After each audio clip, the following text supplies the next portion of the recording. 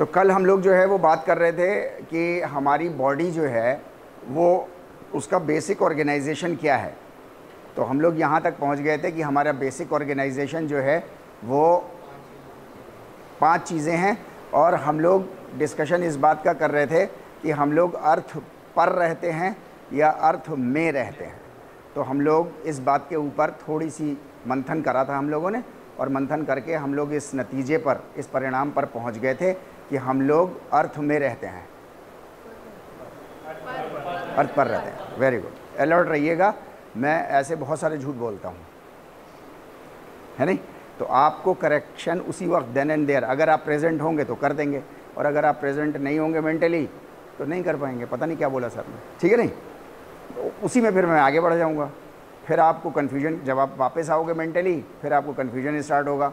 यार सर ने तो अभी कुछ और बताया था अब पाँच मिनट बाद कुछ और बोल लें। गलती मेरी नहीं है, आपकी है, आप प्रेजेंट क्यों नहीं थे? तो आपकी मेंटल अलर्टनेस मेरी तरफ़ रहे हर वक्त। उसके लिए ज़रूरी है कि मैं बीच बीच में कुछ आपसे झूठ बोलता रहूँ, गलत बातें करता रहूँ, ताकि आप मेरा करेक्शन करते रहिए। ठीक है भाई? तो क्लास की एक स्ट्रेटेजी है ये भी, है ना? हम लोग पूरा सेमेस्टर 16 हफ़्ते ऐसे ही चलाएँगे। थोड़ा गलत बोलेंगे, ज़्यादा सही बोलेंगे बीच बीच में आप करेक्शन करते रहिए, मैं आपका करेक्शन करता रहूँ, ठीक? तो हम लोग यहाँ तक पहुँच गए थे कि हम लोग जो हैं वो अर्थ पर रहते हैं। यानी कि अर्थ के ऊपर रहते हैं। अर्थ के ऊपर रहते हैं, इसका मतलब है कि हम सब स्पेस में लटके हुए हैं। हमको किस चीज़ ने रोका हुआ है? तो कल आपने बताया था कि ग्रेविटेशनल पुल ने हमको रोका हुआ है, और आप में से किसी एक ने यह भी बताया था कि हमारे ऊपर एटमॉस्फेरिक एयर का प्रेशर जो है वो बहुत ज़्यादा है। ठीक है नहीं?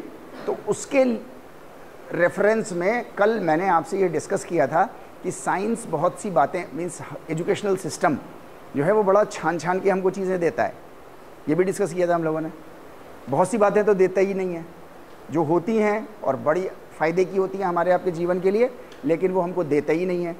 उसके एग्ज़ाम्पल के लिए हमने आपने क्या चीज़ ली थी?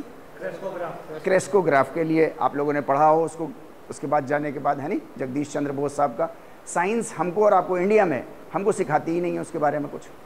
बिल्कुल भी। सिरे से हमने सुना ही नहीं कभी। जबकि बहुत इंपॉर्टेंट टूल है। बहुत इंपॉर्टेंट एडवांसमेंट है। राइट कई बात ऐसी होती हैं जो हमको आधी अधूरी बताती है। हमको आधी अधूरी बताती है। जैसे हमको ये बता दिया साइंस ने और आज तक पढ़ाया जा रहा है कि हमारे पूर्वज बंदर थे। जबकि वो बंदर आज भी बंदर है, हम इंसान आज भी इंसान हैं। अब उस बंदर से आज कोई इंसान क्यों नहीं बन रहा? अगर वही पूर्वज थे हमारे तो आज भी बनने चाहिए ना वो सारी चीज़ें। ठीक? तो ऐसी बहुत सारी चीज़ें, अब वो अधूरा है कुछ। वहाँ कुछ वो कहते हैं कि ये मिसिंग लिंक्स हैं इसमें, जो हमको वो लिंक्स मिल नहीं रहे। अगर वो लिंक्स हमको मिल जाएँ तो फिर ये बात साबित हो जाएगी प्रूव हो जाएगी कि बंदर ही असल में हमारे पूर्वज थे। काफ़ी आपने देखा होगा आजकल एक कुछ स्टूडेंट कुछ लोग होते हैं जिनमें हारमोन्स की प्रॉब्लम होती है किसी के ज़्यादा बाल आते हैं किसी के अभी भी है ना अभी भी बताया जा रहा है साइंस में पहले हमारे पूछ आती थी तो वहाँ अभी भी कुछ पार्ट रह जाता है। कुछ स्टूडेंट में दिखाया जा रहा है। ठीक है। मैं क्या कहने की कोशिश कर रहा हूँ मैं ये कह रहा हूँ कि कुछ बातें आपको अधूरी बताई गई। है नहीं? जबकि ये बात सही नहीं है कि बंदर ही आपके पूर्वज थे। एक तो बात होती है कि बंदर ही आपके पूर्वज थे। और एक ये बात होती है कि शायद ऐसा हो। अच्छा अगर शायद ऐसा हो तो फिर आप कुछ और एंगल से भी सोचना शुरू करो। लेकिन क्या हमको एजुकेशन सिस्टम में ऐसा ही पढ़ाया जाता है? शायद बंदर हमारे पूर्वज थे, या ये पढ़ाया जाता है कि बंदर हमारे पूर्वज थे? अच्छा अगर ये पढ़ाया जाता है तो ये तो कन्फर्मेटरी स्टेटमेंट हो गया। कन्फर्मेशन लिए हुए एक स्टेटमेंट हो गया, जो कि बात अधूरी है। साथ में वो ये भी बता रहे हैं कि मिसिंग लिंक बच्चा इतना नहीं समझता, टीचर इतना समझाता भी नहीं है कि व्हाट डज इट मीन कि मिसिंग लिंक क्या होता है राइट आधी अधूरी बात बता दी, वो आज तक हमारी और आपकी जो है वो साइंस की बायोलॉजी की किताबों में चल रही है, आज भी चल रही है। हिंदुस्तान में आज भी पढ़ाई जा रही है। मैं सिर्फ़ इतनी सी बात कह रहा हूँ कि बहुत सी बातें एजुकेशनल सिस्टम में ऑल टुगेदर किन्हीं वजहों से षड्यंत्र के तहत नहीं बताई जाती। कुछ बताई जाती हैं, आधी अधूरी बताई जाती हैं और कुछ बातें ऐसी होती हैं जो आपको पूरी की पूरी एज इट इज़ बता देते हैं। यहाँ तक बात समझ में आ रही है? राइट इसी संदर्भ, इसको हमने किस संदर्भ में लिया था? इस संदर्भ में लिया था कि हमको जो है वो ये तो बता दिया गया कि ग्रेविटेशनल पुल की वजह से रुके हुए हैं। राइट लेकिन हमको और आपको ये नहीं बताया गया एजुकेशनल सिस्टम में। हमको आपको ये नहीं बताया गया कि ग्रेविटेशनल पुल हमको रोकने में स्पेस में उड़ जाने में, हमको जो है वो ग्रेविटेशनल पुल 99.9 परसेंट काम नहीं करता। हमको ये नहीं बताया जाता। अगर ग्रेविटेशनल पुल के साथ जो है वो एयर प्रेशर ना हो, लाखों करोड़ों टन का एयर प्रेशर हमारे और आपके ऊपर, सबके ऊपर पड़ रहा है। वो स्पेस का दबाव हमारे ऊपर है जो हमको नीचे दबाए हुए है। वो ग्रेविटेशनल पुल नहीं है। वो भी है। लेकिन वो बहुत थोड़ी सी मात्रा है। लेकिन हमको और आपको एजुकेशनल सिस्टम में क्या बताया गया? कि ग्रेविटेशनल पुल की वजह से रुके हुए हो आप। जबकि ग्रेविटेशनल पुल का कंट्रीब्यूशन आपके रोकने में दूसरी और चीज़ों में होगा। मीन्स आपने बॉल ऊपर फेंकी, पत्थर ऊपर फेंका, नीचे आ गए, आप दो मंजिले से कूद गए, आत्महत्या कर लिया आपने, आप नीचे गिर के छितर बितर हो गए। इसके लिए ग्रेविटेशनल पुल करता होगा। राइट लेकिन वो एयर प्रेशर भी उस पर उतना ही ज़्यादा लागू होता है। हमारे आपको स्पेस में हम ना उड़ जाएँ, उसके लिए ग्रेविटेशनल पुल कम काम करता है। और एयर प्रेशर जो लाखों करोड़ों टन का हमारे ऊपर पड़ रहा है, जिसका हमें एहसास भी नहीं होता। है नी लेश मात्र पॉइंट वन परसेंट भी हमको इस बात का एहसास नहीं होता कि एयर प्रेशर हमारे ऊपर इतना ज़्यादा है। Right right. हमको और आपको एजुकेशन सिस्टम में ये बात भी नहीं बताई गई। इस संदर्भ में हम लोग लेकर के आए थे राइट हम लोग स्पेस में सब लोग टंगे हुए लोग हैं। कोई ऐसे टंगा हुआ है ऊपर की तरफ़, वो भी स्पेस है चारों तरफ़। यहाँ भी स्पेस है, यहाँ भी स्पेस है, कोई इधर की तरफ़ है तो वो भी स्पेस में। हर कोई स्पेस में है, उड़ने से बचा हुआ है क्योंकि एयर प्रेशर लाखों करोड़ों टन का पड़ रहा है प्लस ग्रेविटेशनल पुल आपको नीचे खींची हुई है। सिंपल सी बात है, ठीक है ना? राइट स्पेस इसमें जो आया था, ये जो पाँचवें नंबर का स्पेस है ये स्पेस वही स्पेस है जिसमें हम और आप लटके हुए हैं। राइट ये सारी चीज़ें, एक, दो, तीन, चार, पाँच, ये जितनी भी चीज़ें हैं, इनसे जो है, इनको हमारी भारतीय संस्कृति में पंच महाभूत के नाम से जानते हैं। हमको आपको सबको पता है? पंच महाभूत के नाम से हम लोग इसको पहचानते हैं। राइट भूत जो वर्ड है, ये संस्कृत का वर्ड है। जब ये हिंदी में आता है तो वो कोई डरावनी चीज़ बन जाती है। हिंदी और संस्कृत दो अलग अलग लैंग्वेजेस हैं। इस बात को अच्छे से समझ लीजिएगा। हिंदी और संस्कृत कोई एक लैंग्वेज नहीं है।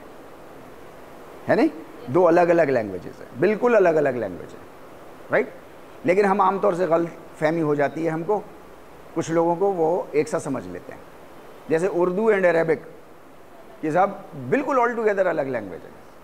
लेकिन ऐसा समझा जाता है, समझ लेते हैं कुछ लोग कि वो एक सी, एक ही लैंग्वेज है वो। एक लैंग्वेज नहीं है, दो अलग अलग लैंग्वेज एक एक ही वर्ड दो या दो से ज़्यादा लैंग्वेजेस में हो सकता है, एक ही वर्ड लेकिन या तो उसके मीनिंग ऑल टुगेदर बिल्कुल डिफरेंट होंगे ऑल टुगेदर बिल्कुल डिफरेंट होंगे, या जिस ओरिजिनल लैंग्वेज से आया हुआ वर्ड होगा, उसमें जो है वो बहुत वर्ड में मुलायमियत आ गई होगी। उसके मीनिंग जो है वो बहुत सॉफ्ट कोमल हो गया होगा। मतलब असली मीनिंग का नहीं बचा होगा। जैसे ये एक एग्ज़ाम्पल है, भूत वर्ड भूत संस्कृत ज़ुबान में उस डरावनी चीज़ को नहीं कहते, जिसको लेकर के हमको और आपको डराया गया है। उस तरीके की कोई चीज़ दुनिया में होती ही नहीं है, लेकिन हमको और आपको डराया गया है। फिर कभी बात करेंगे। हम डर जाते हैं भूतों से। भूत भूत कुछ नहीं होता। सिर्फ़ डराने की बात है पाखंड की बात, इसे पाखंड कहते हैं, ताकि मेरी कुछ हाँ हाँ कुछ हो सके। अब उसके लिए मैंने एक पाखंड चला रखा है, और ये हज़ारों साल से पाखंड चल रहा है। अब वो इतना कर रहा पाखंड हो गया है कि हमारे आपके जेनेटिक बेस में चला गया है। अब आपको मेरी बातें चाहे कितनी समझ में आ जाएँ, लेकिन आप जब भी अपनी माता जी से बात करोगी या दीदी से बात करोगे या किसी ऐसे इंसान से बात करोगे कहेंगे, यार, तुम्हारे तारिक सर तुम्हें बहका रहे हैं। मैं बहका नहीं रहा। राइट संस्कृत में भूत कहते हैं किसी भी अदृश्य चीज़ को। किसको? इनविजिबल जो दिखाई ना दे आपको। मतलब डरावनी चीज़ का तो मतलब ही नहीं है। अदृश्य कोई भी चीज़ हो सकती है। या नहीं हो सकती?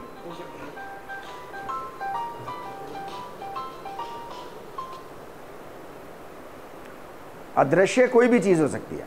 कोई भी चीज़ जो अदृश्य है, वो भूत है। अच्छा तो अब वो जो पैसे वाला आदमी है मतलब कमाने वाला, वो कहेगा, वो भी तो अदृश्य होता है, इसीलिए उसको भूत कहते हैं। वो बात ठीक है, आपने उसको अपने लिए इस्तेमाल कर लिया, लेकिन ऐसी कोई क्रिएचर होता नहीं है। राइट इसको भूत इसलिए कहते हैं, पंच महा महा मतलब बहुत बड़ा बड़ा नहीं। हाँ राजा एंड देन महाराजा। है नहीं? राजाओं का राजा इज़ ए महाराजा। और महाराजाओं का महाराज? है किसी की मतलब थोड़ी संस्कृत वगैरह अच्छी, हिंदी अच्छी? है? महाराजा? नहीं। नहीं। एग्जैक्ट वर्ड क्या है उसके लिए? हो सकता है पढ़ के आए हों, आप लोग भूल गए हों। नहीं, सम्राट नहीं। नरेश। नरेश। नरेश इज़ महाराजाओं का महाराजा। है नराशंसा। नरेशु अशंसा। यस यसा मनुष्यशु प्रशंसनी ऐसा नरेश महाराजाओं का महाराज। ऐसा नरेश जिसकी मनुष्यों के बीच में बहुत ज़्यादा प्रशंसा की गई हो। राइट ओके महा मतलब बहुत बड़ा, बड़ों का बड़ा। राइट पंच मतलब? पाँच। हम लोग एनाटमी पढ़ते पढ़ते कहीं और भी चले जाएँगे, फिर हम लोग यहाँ वापस आ जाएँगे, फिर उसके बाद फिर एनाटमी पढ़ेंगे, फिर एनाटमी की हथौड़ी चलेगी, फिर उसके बाद थोड़ा फिर कहीं और चले जाएँगे। इससे क्या होगा कि आप बोर नहीं होंगे। है नहीं? आपकी लर्निंग बहुत स्ट्रांग हो जाएगी। राइट एसोसिएटेड लर्निंग जो होती है वो सबसे ज़्यादा स्ट्रांग होती है। एक तो होता है कि मैं सीधा लेक्चर दूँ आपको एनाटमी का, बस। आप बहुत जल्दी बोर हो जाओगे। अच्छा उसी एनाटमी को आपको अलग अलग ढंग से मैं समझाने की कोशिश करूँ। कभी संस्कृत में, कभी हिंदी में, कभी अंग्रेज़ी में, कभी अरबी में, कभी किसी और लैंग्वेज में तो आपको थोड़ा सा इंटरेस्ट आपका बना रहेगा। मेरा काम है एज ए टीचर आपका इंटरेस्ट अपनी तरफ़ रखना, ना कि आपके दिमाग को कहीं और जाने देना। है नहीं? तो फिज़िकली बैठना, बैठाना मेरा कोई मकसद नहीं है राइट तो पंच मतलब? पाँच। पाँच बहुत बड़े ऐसे फैक्टर्स जो अदृश्य हैं। पंच महाभूत मतलब यही तो हुआ ना। पाँच ऐसे फैक्टर्स जो सबसे बड़ों के भी बड़े हैं बड़ों के भी बड़े हैं लेकिन अदृश्य हैं। Invisible factors determining our lives हमारे आपकी ज़िंदगियों को हमारे आपके जीवन को हमारे आपकी ज़िंदगियों को हमारे आपके जीवन को हमारे आपकी लाइव्स को वो डिटरमिन करते हैं ऑर्गेनाइज करते हैं। ऐसे पाँच बड़े फैक्टर्स हैं जो इनविजिबल हैं मतलब नंगी आँखों से नहीं दिखाई देते। वो पाँच जो हैं वो ये हैं। मिट्टी, पानी, हवा, गर्मी और आकाश। ये हमारे पाँच हैं राइट इन पाँच से मिल करके एक सेल बना है इन पाँच से मिल करके एक सेल बना है ठीक है नहीं? अभी आगे चलेंगे यार, क्यों इतने मुताबले हो रहे हो? असल में जिसको आता है, वो बहुत जल्दी जल्दी पहुँच जाऊँ मैं वहाँ पर है नहीं? मैं जल्दी चला जाऊँ। क्लास पीछे रह जाए।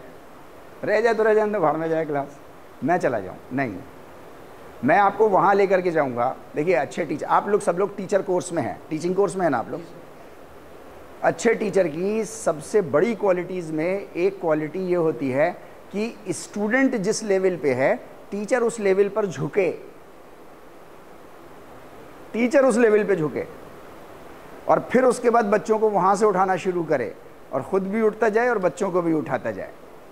और उठा करके उठा करके उठा करके एक जगह कहीं पे ला करके छोड़ दे कि अब तुम्हारा जीवन तुम संभालो। Right right? आमतौर से ऐसा होता नहीं है। टीचिंग इस प्रिंसिपल पे होती नहीं है। टीचिंग इस प्रिंसिपल पे होती है। अबे गधे, ये भी नहीं आता तुझे?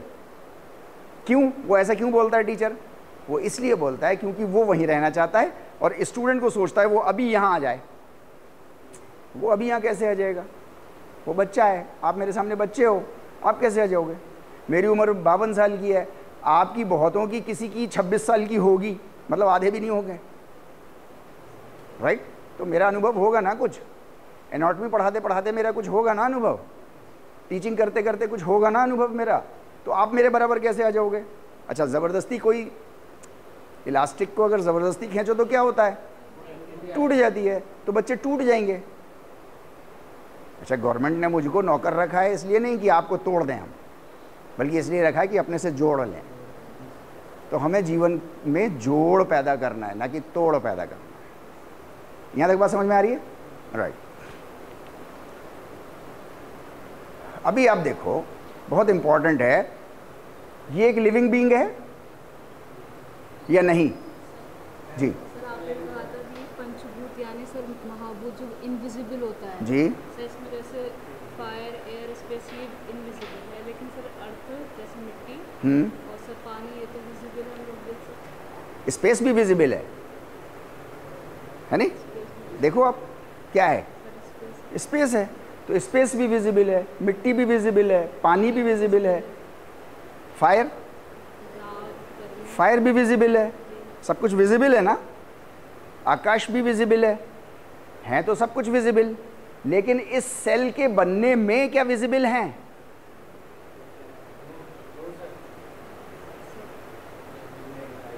नहीं समझा पाया मैं अपनी बात आपको। सेल के सेल बना इससे, इन पाँच महाभूत से। हमारी भारतीय संस्कृति में है ना ये बात मशहूर?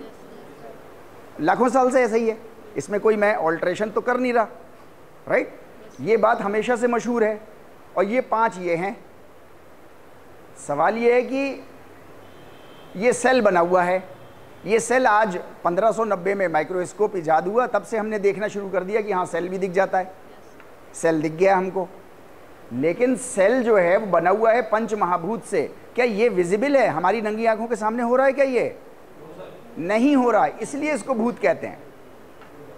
इसलिए भूत नहीं कहते कि ये एलिमेंट्स इनविजिबल हैं।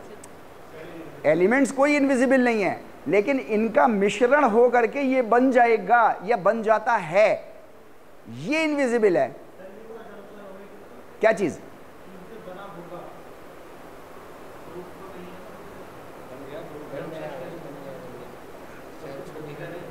अभी साइंटिफिक ऐसी बहुत सी डिस्कवरीज आ गई कि वो मिट्टी से बना सेल अच्छा अब मिट्टी से बना तो मतलब क्या कि ये जो हमने ऐसे मिट्टी उठाई और इसको ऐसे ऐसे मसला, इसमें थोड़ा सा हमने पानी मिला दिया, इसमें थोड़ी सी हमने जो है वो गर्मी दे दी या गैस के ऊपर हल्का सा रख दिया इसको और इसको स्पेस में तो हैं ही रखे हुए हम तो क्या ये एक सेल बन गया तो नहीं, सेल नहीं बना राइट right. इसका मतलब ये होता है, अब हमको साइंटिफिक डिस्कवरीज अब हमको ये सिखा रही हैं, ये समझा रही हैं कि हुआ कैसे है कि मिट्टी के कंपोनेंट्स इसके अंदर मौजूद हैं। फायर के कुछ कंपोनेंट्स इसके अंदर मौजूद हैं। गेटिंग माई पॉइंट हवा के कुछ कंपोनेंट्स इसके अंदर मौजूद हैं। राइट? वाटर के कंपोनेंट्स इसके अंदर कुछ मौजूद है। हमारी पूरी बॉडी 90 परसेंट से ज़्यादा वाटर की बनी हुई है। ठीक है?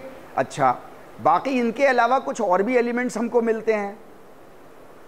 वो एलिमेंट्स जो हैं, वो स्पेस में मौजूद हैं। इसलिए भारतीय संस्कृति कहती है कि स्पेस से भी बने हैं।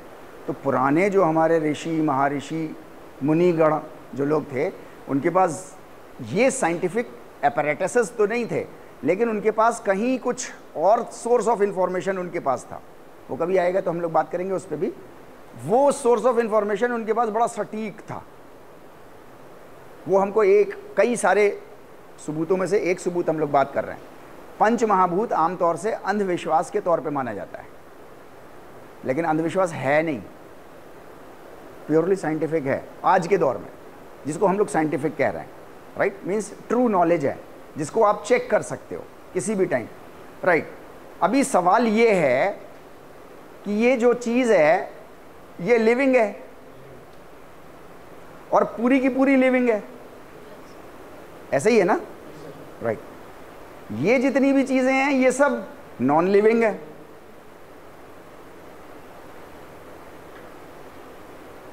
मैं अपनी बात समझा पा रहा हूँ आपको? yes, सोच सोचने का मुकाम सोचने की जगह हमारे और आपके लिए ये है कि सारी नॉन लिविंग चीज़ों का मिश्रण हो करके एक लिविंग चीज़ कैसे बन गई? अगर बन गई तो आज बना लो। अभी तक तो नहीं बना पाए। इसका मतलब बनाने वाला जो है वो बड़ा खतरनाक पावरफुल है कि उसने नॉन लिविंग चीज़ को उसने नॉन लिविंग चीज़ को। ऐसा मिश्रित ऐसा मिश्रित किया, ऐसा मिक्सचर किया उनका, ऐसे कॉम्बिनेशन में किया और ऐसे टेम्परेचर पे किया और ऐसा मींस इसको कहते हैं परम्यूटेशन एंड कॉम्बिनेशन राइट ऐसे परम्यूटेशन के साथ किया कि उसमें जो है वो लाइफ पैदा हो गई। आज की डेट तक हम और आप मींस इंसान, अभी उस मिश्रण को पैदा करने में नाकाम है। अभी तक, कल की बात मैं नहीं कर रहा। इंसान के पास सारी पावर्स हैं। इंसान एक बहुत ही ख़तरनाक प्राणी है। इंसान जो है, वो दुनिया का सबसे ख़तरनाक प्राणी है। प्राणियों में सबसे ज़्यादा ख़तरनाक प्राणी कौन सा माना जाता है? शेर। लेकिन शेर इंसान के सामने कुछ भी नहीं है। शेर जो है वो भीड़ वाले इलाके में आ जाए तो बहुत ज़्यादा मार पाएगा तो 30 40 50 लोगों को मार देगा। मैक्स। नहीं, लेकिन एक इंसान, एक बॉम्ब, एटम बॉम्ब लेकर के निकलता है, सत्तर साल हो जाते हैं, आज तक डिफेक्टिव बच्चे पैदा हो रहे हैं। राइट और रॉन्ग एक इंसान इतना ख़तरनाक है। तो शेर तो कुछ भी नहीं है, खामखा हमने शेर को ऊपर इल्ज़ाम रखने की आदत है ना, हम लोगों को दूसरे के ऊपर रख देते हैं। तो हम दूसरे के ऊपर रख दिया है हमने इल्ज़ाम। कि शेर ख़तरनाक है, शेर नहीं ख़तरनाक है, ख़तरनाक हम और आप हैं। राइट इतने ख़तरनाक हैं, कल को हो सकता है हम ये बना लें। मे बी लेकिन अभी तो हमारे पास जवाब भी नहीं है इसका। अभी तक जिसको हम साइंटिस्ट कहते हैं या साइंस कहते हैं, उनके पास इस बात का जवाब भी नहीं है कि नॉन लिविंग से लिविंग बीइंग कैसे बन गया। लेकिन बन गया। बना हुआ है। आप ही कहते हो ये सारी बातें। ये तो भारतीय संस्कृति थी जो हज़ारों लाखों साल से कह रही थी पंच महाभूत पंच महाभूत पंच महाभूत इतनी सी बात कह रही थी वो। Right okay okay. अब ये सेल्स बहुत सारे लिविंग ये सब इकट्ठे हुए, जिसको आपने कहा था कि वो टिश्यू हो गया। राइट तो वो टिश्यूज़ बन गए। अब ये एक बेसिक ऑर्गेनाइजेशन है। टिश्यूज़ से फिर उसके बाद एक ऑर्गन बनेगा ऑर्गन से उसका सिस्टम बनेगा, और ये जब ऐसा तैयारी हो जाएगी तो पूरा एक ऑर्गेनिज्म बन जाएगा, जिसको हम और आप ह्यूमन एनाटॉमी एंड फिजियोलॉजी में ह्यूमन कहते हैं। The same is true with the animal kingdom animal के साथ भी ऐसे ही है। यही बात है? प्लांट के साथ भी यही बात है। वो भी एक सेल से बना, लेकिन उसके सेल भी पंच महाभूत से बने। राइट ओके अभी बात ये आ जाती है मैं एक एक्स्ट्रा ऐसी बात कर रहा हूँ। मैं एनाटॉमी में बहुत सी बातें आपसे एक्स्ट्रा भी बोलूँगा। बड़े काम की होंगी। मर्ज़ी है, आपको रखना हो रख लेना, नहीं रखना हो छोड़ देना। एनाटॉमी से रिलेटेड नहीं होंगी, लेकिन आपकी जनरल लाइफ से रिलेटेड बहुत होंगी राइट अभी ये ऑर्गेनिज्म पैदा हुआ और ख़त्म हो गया। अपना एक जीवन गुजारा उसने और ख़त्म हो गया। अब जब ये ख़त्म हो गया तो हमने और आपने एक विचारधारा बनाई कि जो जीवन है, बस यही एक जीवन है, इसके बाद कोई जीवन नहीं है। क्योंकि ये सब तहस नहस हो गए सारे सेल्स सारे सेल्स भारतीय संस्कृति कहती है, फिर पंच महाभूत में जाके मिल गए सब। राइट और रॉन्ग राइट अब दोबारा नहीं पैदा होंगे। अब दोबारा नहीं पैदा होंगे। मर गए, उसके बाद दोबारा नहीं पैदा होंगे। अच्छा अब सवाल ये पैदा हुआ। राइट जिसने भी आपको पहली बार नॉन लिविंग से बनाया था नॉन लिविंग से बनाया था ना आपको? जिसने पहली बार बनाया था, क्या वो दूसरी बार नहीं बना सकता आपको? किसी भी चीज़ का पहली बार का बनाना मुश्किल होता है या दूसरी बार का बनाना मुश्किल होता है? पहली बार का कोई भी चीज़ बनाना बहुत मुश्किल होता है। पहली बार का उसने बना के आपको खड़ा कर दिया और यहाँ पक पक बक बक बक बक बक बक कर रहा है तीन क्लासों से। तो अगली बार क्यों नहीं बना देगा? अगली बार तो बहुत आसान होगा उसके लिए बनाना। कुछ डीएनए निकालने होंगे उसको इधर उधर से, टुक से, और एक क्रिएशन, मेरी जैसी। अच्छा क्या साइंस ने ये तैयार कर लिया आज? मेरा डुप्लीकेट। क्या तैयार कर लिया? हाँ। अरे बाबा, रख लिया ना उसने। उसको नहीं ज़रूरत आज। फॉर एग्ज़ाम्पल उसे ज़रूरत नहीं तारिक मुर्तज़ा की। उसने तारिक मुर्तज़ा का डीएनए अपने यहाँ संभाल के रखा हुआ है। सबका रखा है। आपका भी रखा है। इसमें डरने की बात नहीं है। सबका डीएनए प्रिजर्व्ड रखा हुआ है। आप सब लोगों ने ब्लड टेस्टिंग कराई है। ब्लड टेस्टिंग का एक बेसिक प्रिंसिपल होता है कि जितने की ज़रूरत हो उससे ज़्यादा का निकालो काय के लिए? बताते नहीं आप। हाँ। वो आपका डीएनए एक कुछ पोर्शन से उसका डीएनए निकाल के रख दिया जाएगा। स्टोर हो जाएगा। कभी दुनिया को ज़रूरत पड़ी हज़ार साल बाद फॉर एग्ज़ाम्पल अब आप जैसा तो कोई और पैदा नहीं होना। इस जीवन में आप जैसा कोई भी नहीं पैदा होगा। आप जैसा पहले पैदा कभी हुआ नहीं और आप जैसा आगे कभी पैदा होगा नहीं, ये बात हमको और आपको सबको मालूम है। अच्छा दुनिया में कोई ऐसी आपत्ति आ गई या कोई ऐसी बात हो गई जिसको जो है वो ये निखिल साहब ही कर सकते हैं बस पूरा। भाई उन्होंने डीएनए सर्च मारा अपने सुपर कंप्यूटर में। उन्होंने कहा भाई यार, ये एक डीएनए है जो कर सकता है इस काम, क्योंकि उसके अंदर कैरेक्टरिस्टिक्स भी सारी मौजूद हैं और उनको वो सोल्यूशन चाहिए। वो सोल्यूशन किसी डीएनए के पास नहीं है, निखिल के पास है। उन्होंने कहा अच्छा जी तो उन्होंने निखिल को निकाला, डीएनए को, और टेस्ट ट्यूब में डाला एक निखिल बन गया। अभी लग रहा है सपना सी, लेकिन क्या ऐसा ही है? नहीं, अब सपना नहीं है, अब तो ये साकार हो चुका।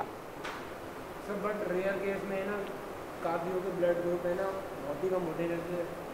कुछ एरिया में जाते हैं जैसे हज़ार दो हज़ार की संख्या में ए बी नेगेटिव बहुत ही कम रेयर केस में होते हैं तो अगर वो उस बच्चे की तबीयत खराब हो जाती है तो बहुत ही कम मिलता है। आधे सारा नाइन्टी परसेंट बच्चे लोग मर जाते ठीक है मर गए। देखिए मरना तो हर किसी को है।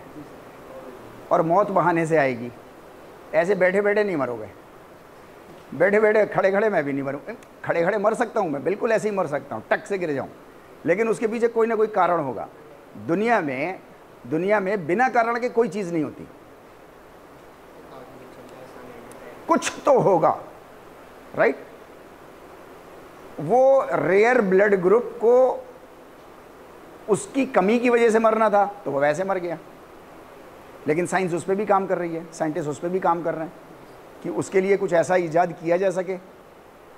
ऐसे कॉम्बिनेशंस परमुटेशंस बनाए जाएँ, जिससे जो है वो उसके रेयर को जो है वो जीवन मिल सके।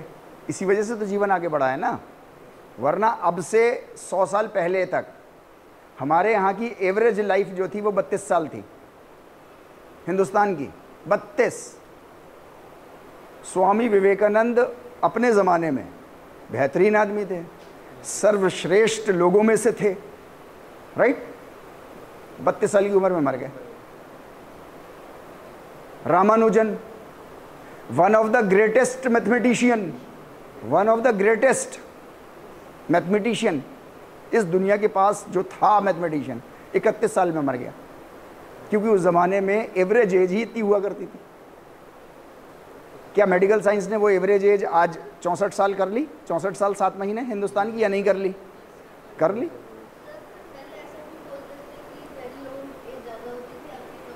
वो उस ज़माने की बोलते थे जब हज़ारों साल पहले की। जो हज़ारों साल पहले था। मैं अभी सौ साल पहले की बात कर रहा हूँ आपसे। है ना सौ साल पहले इकतीस बत्तीस साल थी। इन सौ सालों में मेडिकल साइंस ने इतनी तरक्की कर ली कि हमारी आपकी लाइफ जो है वो चौंसठ पॉइंट सात ईयर्स हो गई। ठीक है नहीं? राइट मेडिकल साइंस आगे भी और बहुत से कारनामे करेगी। ठीक? मैं आपसे ये कह रहा हूँ सिंपल इतनी सी बात कि मर गए, जीवन ख़त्म हो गया, जीवन ख़त्म हो गया, क्या मतलब सही है? नहीं, वो सही नहीं है। वो आगे फिर चलेगा, आगे जीवन आगे चलता रहेगा। इस दुनिया में आप आए थे एज ए यात्री एक अभी हो, मैं भी हूँ एज ए यात्री, अपनी ड्यूटी हमें निभानी है, जिसको हम और आप धर्म कहते हैं। धर्म उसको नहीं कहते जो हिंदू धर्म, जो मुस्लिम धर्म, जो क्रिश्चियन धर्म। धर्म उसको कहते हैं जिस काम के लिए आप आए हो यहाँ पर। आपकी रिस्पॉन्सिबिलिटी दुनिया में क्या है? अच्छा दुनिया में रिस्पॉन्सिबिलिटी क्या है? तो वो भी हमको भारतीय संस्कृति बताती है। आपको भारतीय संस्कृति बताती है कि दूसरों का परोपकार करना आपका धर्म है। हिंदू धर्म, इस्लाम धर्म, क्रिश्चियन धर्म, ये सब दुकानें हैं अपने अपने मकसद के लिए, चलाने के लिए। आपका धर्म है दूसरों का परोपकार करना। परोपकार समझते हैं? दूसरों के लिए भलाई करना, दूसरों के लिए रास्ते को हमवार करना ताकि वो अच्छे से चल सके उसमें। अच्छा जैसा आप दूसरों के लिए करोगे, वैसे ही आपके साथ भी होगा। यानी कि आप जब दूसरों के लिए रास्ता साफ़ करोगे तो आपके जीवन का भी रास्ता ऑटोमेटिकली साफ़ होता चलेगा। राइट और रॉन्ग ये भी एक मुहावरा है हमारे यहाँ राइट ओके तो मैं आपसे ये कह रहा था कि हमारा बेसिक ऑर्गेनाइजेशन जो है एनाटमी एंड फिजियोलॉजी की किताबों में, इस बात को बहुत गौर से सुन लीजिए। आपको basic organisation of human body दुनिया की सारी एनाटॉमी की किताबों में और फिजियोलॉजी की किताबों में यहाँ से शुरू होता मिलेगा। जबकि बेसिक ऑर्गेनाइजेशन आपका जो है वो पंच महाभूत से है। क्या ये बात मैं समझा पा रहा हूँ आपको लोग राइट यहाँ से आपका बेसिक ऑर्गेनाइजेशन शुरू हुआ है। इनका मिश्रण हुआ, फिर ये बने, फिर सिमिलर टाइप्स के बहुत सारे सेल्स बने तो वो टिश्यूज़ बन गए। बहुत सारे सिमिलर टाइप के टिश्यूज़ ने काम करना शुरू किया तो वो ऑर्गन बन गया। डिफरेंट ऑर्गन्स बने तो एक फॉर एग्ज़ाम्पल ये डाइजेस्टिव सिस्टम ऐसा बन गया राइट right? और ऐसे बहुत सारे सिस्टम्स लगे दस ग्यारह। अभी हम लोग आगे बात करेंगे तो एक ऑर्गेनिज्म तैयार होकर के खड़ा हो गया। यहाँ तक बात क्लियर है बिल्कुल? इसमें कोई क्वेश्चन तो नहीं है आप लोगों को? Right right. ओके okay, एक इंटरेस्टिंग फैक्ट है। यार नसीम इसको कल देखना अभी तो नहीं। है ना, कि हम लोग का ऊपर का ना स्लाइड आधी कट रही है यहाँ पर। या तो इसमें कुछ सेटिंग में प्रॉब्लम है इसके। है ना? राइट एक इंटरेस्टिंग फैक्ट हमको बिल्कुल ऑल टुगेदर हर सात साल में ऑल टुगेदर हमको बिल्कुल नई बॉडी मिल जाती है। जो हम सात साल पहले थे, वो आज सात साल बाद हम वो होते ही नहीं हैं। बिल्कुल नहीं होते, बिल्कुल चेंज पूरी बॉडी चेंज ये आँख ऐसी आँख नहीं थी सात साल पहले। ये स्किन ऐसी स्किन नहीं थी सात साल पहले। आपकी जैसी भी स्किन है, ये सात साल पहले ऐसी नहीं थी। Right right? इसके सेल्स ख़त्म हो गए, इसके सेल्स डेड हो गए, इसके सेल्स मर गए, ख़त्म हो गए। इसकी जगह मरे हुए सेल्स की जगह दूसरे सेल्स आए। अभी वो सेल्स भी चलेंगे चलेंगे चलेंगे। हर बॉडी पार्ट के सेल्स हर बॉडी पार्ट के सेल्स की लाइफ अलग अलग होती है। Right right? पूरा टूर, पूरा टूर, सारे सेल्स मिल करके सात साल में कवर कर लेते हैं। कुछ की एज जैसे स्किन है स्किन जो है वो दो से चार साल में स्किन आपकी ऑल टुगेदर बदल जाती है। सॉरी वीक्स में, है नहीं? अभी आप ऐसे करके हाथ झाड़ो तो दो चार हज़ार सेल्स डेड सेल्स आपकी स्किन के यहीं गिर गए होंगे आपके सामने। लेकिन दिखेंगे नहीं, भूत हैं। भूत हैं वो, दिखेंगे नहीं। है नहीं? हाँ वो इनविजिबल है राइट ओके इसी तरीके से जो है वो हमारे हेयर्स इतने साल लगा देते हैं, वो सेल ख़त्म हो जाते हैं उसके, दूसरे हेयर्स आ जाते हैं उसकी जगह पे। इस तरीके से हमारी बॉडी ऐसे बहुत सारे हैं लीवर है राइट ये सब आपको पहुँच जाएगा। स्टमक एंड इंटेस्टीन्स हैं। पाँच दिन रहते हैं बस। पाँच दिन बाद, क्योंकि कंटिन्यूस चौबीस घंटे काम करना है इनको बेचारों को। अच्छा हमारे खाने पीने के भी कुछ ऐसी चीज़ें खाते हैं हम, इतनी एसिडिक कि उनका लाइफ और कम हो जाती है बेचारों की। है नहीं? राइट इसी तरीके से बोन्स बोन्स के सेल को 10 साल लगते हैं चेंज होने में। इसीलिए आप देखिए, जिस बोन की कैरेक्टरिस्टिक्स के साथ बच्चा पैदा होता है, जब 10 साल का हो जाता है तो क्या वैसी बोन्स रहती हैं उसकी? थोड़ा सॉलिड हो जाता है। अच्छा जब 10 साल से 20 साल का हो जाता है वो तो पूरा पक्का हो जाता है। अच्छा फिर 20 से जब वो 24 का होता है तो बिल्कुल सॉलिड 100 परसेंट जितना हो सकता है मैक्सिमम सॉलिड वो उतना सॉलिड हो जाता है 24 साल तक। राइट और फिर अगले 30 साल, तीस साल बाद फिर उसके सेल्स हर दस साल में चेंज हो रहे हैं। फिर उसके बाद नीचे की तरफ़, पहले ऊपर की तरफ़ चल रहे थे, फिर नीचे की तरफ़ चलना शुरू करते हैं, तीस साल के बाद। राइट ऐसे ही हमारे जो हैं वो कार्डियक सेल्स हैं हार्ट के हमारे सेल्स हैं, वो अपने, उनका अपनी एक लाइफ स्पैन है, उनका अपना एक ज़माना है और वो इस हिसाब से जो है वो चेंज होते रहते हैं। मैं आपसे ये कह रहा हूँ कि पूरे सात साल में ऑन एन एवरेज सात साल में, एक तो दस साल में भी हो रहा है ना? है नहीं? ऑन एन एवरेज कुछ जो है वो पाँच दिन में भी हो रहे हैं, कुछ कुछ महीनों में हो रहे हैं, कुछ हफ्तों में हो रहे हैं, कुछ कुछ सालों में हो रहे हैं ऑन एन एवरेज जो है वो सात साल में इंसान ऑल टुगेदर पूरा चेंज का चेंज हो जाता है। बिल्कुल। अच्छा ये अपने आप में बड़ा इंटरेस्टिंग है। यहाँ डिस्कशन का मौका नहीं है, नहीं तो हम लोग इसमें टाइम लगेगा असल में, है नहीं? इतना समझ लीजिए बस इस डिस्कशन पे, जो कि हमारे सेलुलर उसमें आ गया है बेसिक ऑर्गेनाइजेशन में। हम आम तौर से ये गलत फहमी सबको है, पूरी दुनिया में सबको है, कि हम शरीर हैं। मैं फिर से दोहरा रहा हूँ। हमको और आपको, बल्कि पूरी दुनिया के सारे इंसानों को ऑलमोस्ट तकरीबन सबको, इस बात की बहुत गलत धारणा बन गई है कि हम एक शरीर हैं। आप शरीर नहीं हो। अगर आप शरीर हो तो शरीर तो सात साल में चेंज हो रहा है, हर सात साल में। हर सात साल में शरीर चेंज हो रहा है ना? राइट मेरी शादी हुए पच्चीस साल हो गए। राइट पच्चीस साल पहले मेरी बीवी का जिससे विवाह हुआ था, जिससे निकाह हुआ था तो सात साल बाद तो वो इंसान चेंज हो गया। अब तो निकाह वैलिड बचा नहीं। आपके हर घर की कहानी है। आपके मम्मी पापा के साथ भी ऐसे ही है। लेकिन क्या ऐसा होता है? नहीं, नहीं होता। इसका मतलब शरीर का शरीर से विवाह नहीं हुआ है। किसी और चीज़ का किसी और चीज़ से विवाह हुआ है। इसको योग की भाषा में चित्त कहते हैं। चित्त। आपके अंदर जो चित्त है वो आप हो। नहीं आत्मा अलग चीज़ होती है। वो आप हो। जो चित्त है ना वो आप हो। आप कहते हैं ना मेरा शरीर। तो मेरा हाथ। अगर यही आप थे तो आपका मेरा हाथ कौन? मेरा कौन है ये? मैं कौन? मैंने पानी पिया, मैंने क्लास ली, मैंने बोला, ये शरीर तो उस मैं की टेक्नोलॉजी है। उस मैं की टेक्नोलॉजी है। ऐसे हिला रहा है, पकड़ रहा है, ये सब कर रहा है, दुनिया भरे के तामझाम वो शरीर से करता है। लेकिन वो मैं कोई और है। उसको योगिक भाषा में चित्त बोलते हैं। वो सेकंड सेमेस्टर में हम लोगों का आएगा। बहुत इंटरेस्टिंग है, बहुत मज़ा आएगा आप लोगों को। कूदे कूदे फिरोगे आप लोग।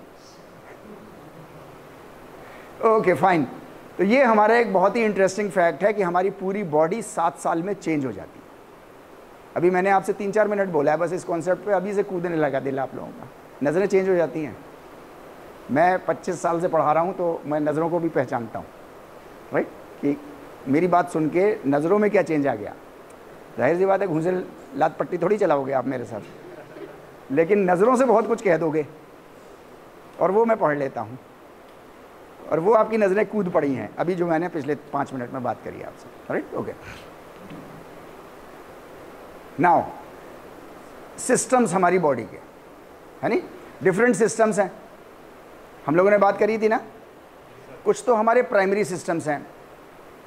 ह्यूमन बॉडी पूरी की पूरी एक सिंगल यूनिट है। आप इस बात को लिख लीजिए।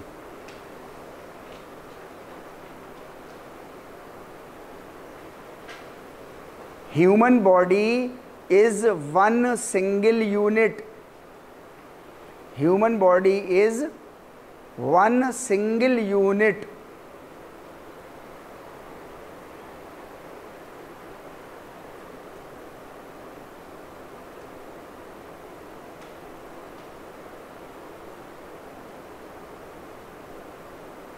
ठीक है भाई? Human body is one single unit एक ही यूनिट है. Right right? आपको फुटबॉल खेलते पे पैर के अंगूठे में चोट लग जाती है तो आप शाम को जब रात में घर लौटते हो, नहा धो करके, आप पढ़ नहीं पाते. जबकि आपका दिमाग घुटने में, उसमें थोड़ी था, अंगूठे में. या था. नहीं. आपको तो यहाँ से कहीं पढ़ना था, कहीं से यहाँ से पढ़ना था आपको. ऐसी है ना? यहाँ से पढ़ना था तो वहाँ से क्या मतलब? नहीं, बहुत मतलब है. सिंगल यूनिट है, एक जगह खराबी होगी तो दूसरी जगह ऑटोमेटिकली खराबी आ जाएगी। चाहे इमोशनली खराबी आए, चाहे साइकोलॉजिकल आए, चाहे गुस्से वाली ख़राबी आए, चाहे प्यार वाली ख़राबी आ जाए, कैसी भी, कुछ ना कुछ हो जाएगा दूसरी जगहों पे भी। है नहीं आपको टेंशन हो जाती है तो खट्टी खट्टी डकारें आने लगती हैं डाइजेस्टिव सिस्टम ख़राब हो जाता है। ऐसे ही होता है ना? आप डर जाते हो है नहीं तो डर की वजह से पेशाब निकल गया। ऑल टुगेदर डिफरेंट सिस्टम है। नहीं डिफरेंट सिस्टम नहीं है, एक ही है। As a whole unit one है। इसको हमें समझने और समझाने के लिए हम इसको अलग अलग सिस्टम्स में बांटते हैं। As a whole one unit हम समझा नहीं सकते। ना मैं समझा सकता हूँ, ना आप समझ सकते हैं। अलग अलग पार्ट्स में समझोगे। जैसे, पालक पनीर कैसे बनना है? पालक पनीर कैसे बनता है? आप इसको एज ए होल समझ जाओगे ऐसे बनता है। या टुकड़ों में समझोगे, इतनी पालक लो, इतना पनीर लो तो उसमें इतने चम्मच तेल डालो तो इतना ये इतना ये, ऐसे करके समझते हैं ना? यानी कि हर चीज़ को हम पार्ट्स में समझते हैं। एज ए होल हम समझ ही नहीं सकते, और ना कोई समझा सकता है हमको। अभी भी हम लोग पार्ट्स में ही समझ रहे हैं चीज़ें राइट फ़िज़िकल एजुकेशन में कुछ सिस्टम्स प्राइमरी होते हैं। बस इतनी सी बात हम कहना चाह रहे हैं। प्राइमरी और सेकेंडरी कोई सिस्टम होता नहीं है। इस बात को याद रखिएगा। नहीं हम अपनी समझ के अनुसार चीज़ों को डिवाइड कर रहे हैं। समझ के, ताकि हम अच्छे से समझ जाएँ। इसलिए हम उसको कर रहे हैं। फ़िज़िकल एजुकेशन में कुछ सिस्टम्स ऐसे हैं जो प्राइमरी लेवल पे काम करते हैं। Right right? और कुछ ऐसे हैं जो उनके सपोर्ट में काम करते हैं। ठीक है? राइट तो पहला हमारा सिस्टम जो है वो रेस्पिरेटरी सिस्टम है राइट मैंने उसको हिंदी में इसलिए लिख दिया कि आप लोग मीन्स अगर बोलने में कहीं परेशानी आए किसी को तो आप यहाँ से देख करके रेस्पिरेटरी रेस्पिरेटरी सिंपल है नहीं? ओके दूसरा डाइजेस्टिव सिस्टम तीसरा स्केलेटल सिस्टम चौथा? मस्कुलर सिस्टम पांचवा? सर्कुलेटरी सिस्टम इसके बाद? आपने बटन ही नहीं दबाया तो क्या? कार्डियक सिस्टम सर्कुलेटरी सिस्टम और कार्डियक सिस्टम एक ही सिस्टम है। ऐसे ही है जैसे रेस्पिरेटरी सिस्टम और ब्रीदिंग सिस्टम एक ही है। ठीक है नहीं? ओके दूसरा है हमारा सेकेंडरी सिस्टम है नहीं? Endocrine system immune system integumentary system integumentary system जो हमारी स्किन से रिलेटेड है। ओवरऑल बॉडी को कवर किए हुए। भाई हर टुकड़ा अलग अलग है ना? तीन हड्डियाँ हैं, इतनी बहुत सारी हड्डियाँ हैं, ये हड्डी है, ये हड्डी है, इसमें मसल्स हैं नर्व्स हैं, ऊपर से पूरा एक पैक कर दिया। और एक यूनिट आपको प्रोवाइड कर दी, ऊपर वाले ने, लो पकड़ो, ये हाथ है तुम्हारा। ठीक है नहीं? ओके तो उसको हम कहते हैं इंटीग्यूमेंट्री इंटीग्यूमेंट्री देन एक्सक्रीटरी इसको रीनल भी बोलते हैं यूरिनरी सिस्टम भी बोलते हैं। तो वो होता है एक्सक्रेटरी सिस्टम और लिम्फेटिक सिस्टम लिम्फेटिक सिस्टम हमारा इम्यून सिस्टम से रिलेटेड होता है, जो कि हमारी ब्लड का एक हिस्सा है सर्कुलेटरी सिस्टम में ही आता है, लेकिन अलग से इसको जो है वो एज ए सिस्टम पढ़ते हैं। तो कुछ सिस्टम्स हमारे हैं जो सेकेंडरी हैं in the field of physical education की बात मैं कर रहा हूँ। फ़िज़िकल एजुकेशन में आपको लार्ज मस्कुलर एक्टिविटीज़ चाहिए होती हैं। आपने फ़िज़िकल एजुकेशन की डेफिनेशन पढ़ी होगी, अब तक पढ़ ली होगी आप लोगों ने, है नहीं? Modification of behaviour through large muscular activities लिख लो आप इसको। लिख लो। Modification of behaviour through large muscular activities this is physical education definition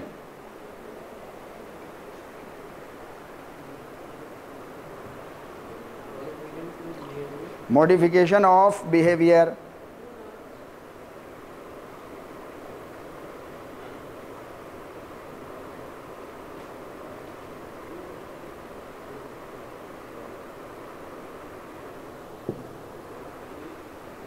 modification of behavior through large muscular activities large muscular activities को करने से हमारे बिहेवियर में जो चेंज आ जाता है, ऐसी प्रणाली को फ़िज़िकल एजुकेशन कहते हैं।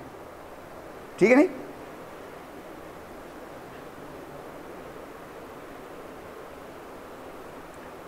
Right right. तो फ़िज़िकल एजुकेशन हमारी जो है, वो लार्ज मस्कुलर एक्टिविटीज़ से रिलेटेड है। हम लोगों ने इससे पहले भी बात करी थी ना फ़िज़िकल एक्टिविटी से रिलेटेड है। गेम्स एंड स्पोर्ट्स से रिलेटेड नहीं है। गेम्स एंड स्पोर्ट्स एक बहुत छोटा सा हिस्सा है उसका। गेम्स एंड स्पोर्ट्स उसका एक बहुत छोटा सा हिस्सा है। असल में वो लार्ज मस्कुलर एक्टिविटीज़ हैं और फ़िज़िकल एक्टिविटी भी हमने डिफाइन करी थी। 220 twenty minus your age targeted heart rate to be maintain for 25 to 40 minutes तो वो फ़िज़िकल एक्टिविटी होगी फ़िज़िकल एजुकेशन में राइट right? इसी तरीके से फ़िज़िकल एजुकेशन में जो हैं, जो सिस्टम्स हैं तो वो कुछ प्राइमरी सिस्टम्स होंगे और कुछ सेकेंडरी सिस्टम्स होंगे जो उनकी हेल्प करते होंगे। ये सेकेंडरी प्राइमरी की हेल्प करते हैं। अदरवाइज़ आपको जो काम करना है फ़िज़िकल एजुकेशन में, वो इन्हीं सारे सिस्टम से करना है।